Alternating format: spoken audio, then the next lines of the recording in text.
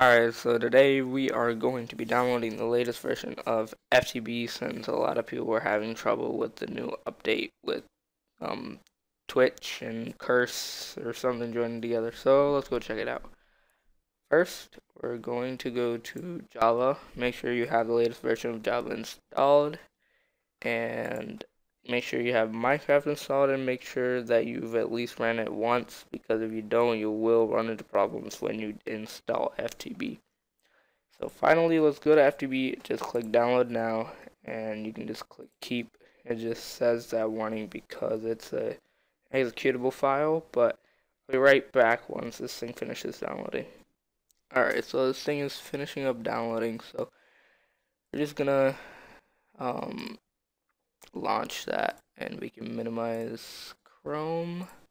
So when this thing comes up, just click install. So what you're going to have to do is it's going to prompt you to, or I think it's going to prompt you to merge your Twitch account and your Curse account together. So all you have to do is follow the instructions that they give you to do that.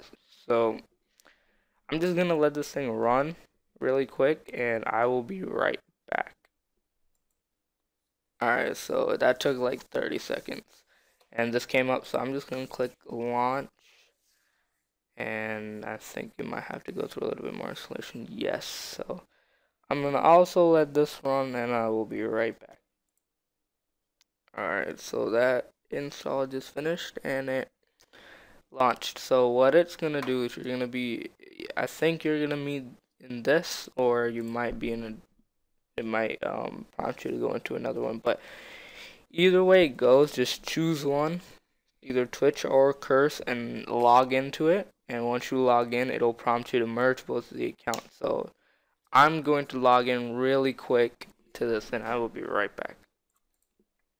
Alright so i logged in and if anybody's wondering that install earlier took like 30 seconds um, so I'm just gonna click no thanks. And since I did merge my account before, it's not telling me right now. But if you haven't merged it, this is gonna prompt you to merge it. So just merge your accounts, and once you're done with that, just go up here to, I think mods.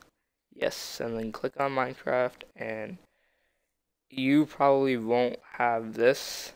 So just click browse all mods, and you can go through here look at all the mods that you can install but I usually play this. So I'm just gonna click install on um, Infinity Evolved.